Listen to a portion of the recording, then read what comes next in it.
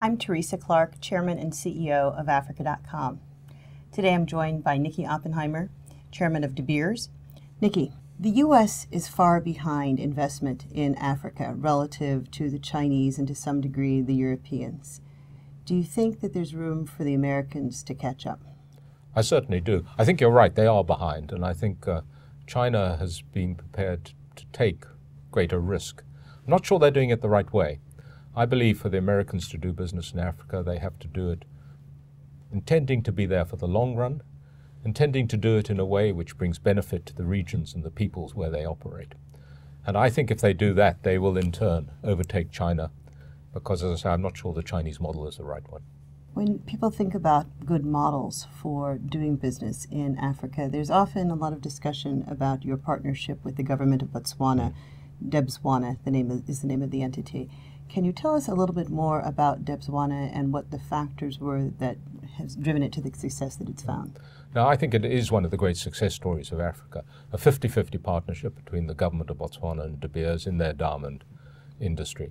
And it's, of course, it's absolutely right, because diamonds are so vital to Botswana. I mean, more vital most probably than oil to Saudi Arabia or something like that. So it's right and appropriate that any business uh, should be a joint venture there.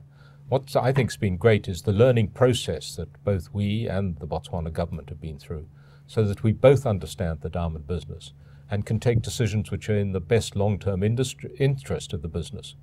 And interestingly enough, some, some of the decisions the Botswana government have taken have not been in their short-term interest, but in their long-term interest. And I think that's, that's how the world needs to operate.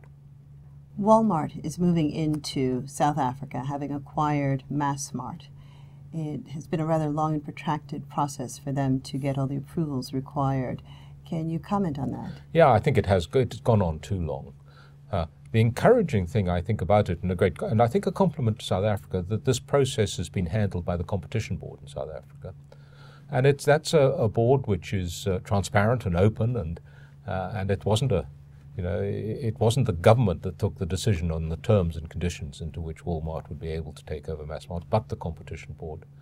And they've now pined and said that can go ahead with certain conditions, conditions which Walmart seem happy to live with. So I think it's a good thing from South Africa. The point you make about it taking too long is absolutely right, and that's uh, something we've got to deal with in South Africa because if you hang around too long, people go elsewhere. But in this occasion, I think the right answer has been reached. Imagine that many of the people watching this video will be American corporates thinking about moving into South Africa. What advice would you give an American company thinking about coming to South Africa? I think it's the right thing to do. I wouldn't just come to South Africa. I think American corporates should be looking at Africa. It's uh, in, in, in some parts uncertain, so you need to assess carefully how you're going to do it. As I said earlier, you need to think very carefully how you're going to operate. And you've got to operate in a way such that people are pleased to have you there and feel you're making a real contribution. Africa, I think, is going to be a hugely important continent in the future. And uh, as you say, America is cu currently a bit behind China. I don't think they should lose, get, you know, slip back any further. One last question for you. Black economic empowerment in South Africa. Uh, this is something that foreign companies don't understand yeah. very well. What, what advice would you have for foreigners thinking about black economic empowerment?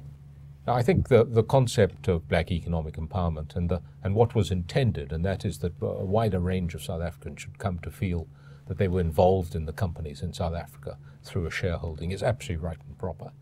Uh, the way it's worked out, I don't think is worked out ideally in South Africa, and uh, there have been too many cases of, of, of, a wide range of people not really getting feeling empowered or feeling any better for what's going on, and a, a, a smaller group of individuals suddenly becoming very rich. Now, I don't think that was ever the intention when this whole thing was proposed, and it seems to me that uh, government in South Africa need, is, is need, and needs to review how this has worked and think how to work in the future. The concept of getting into partnership if you come to do business in South Africa in a way which contributes to the people either you employ or to a broad-based uh, grouping is something that's, I think, very worthwhile. Thank you very Thanks much. Thanks so much.